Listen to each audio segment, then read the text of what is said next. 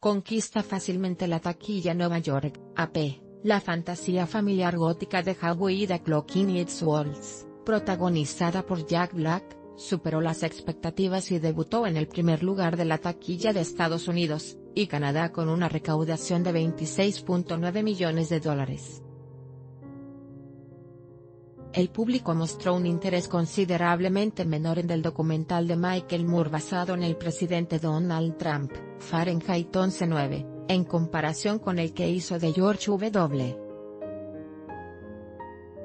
Bush de 2004.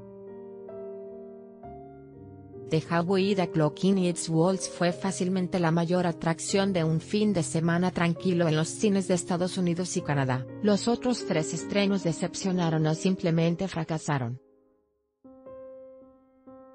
Fahrenheit 11.9 sumó 3.1 millones de dólares a pesar de su presencia en 1.719 salas, lo que representa un gran debut para un documental pero significó apenas una fracción de los 23.9 millones de dólares que recaudó su entrega anterior. Life Itself, de Dan Fogelman y protagonizada por Oscar Isaac y Olivia Wilde, así como el thriller Assassination Nation recaudaron poco más de mil dólares en las salas estadounidenses.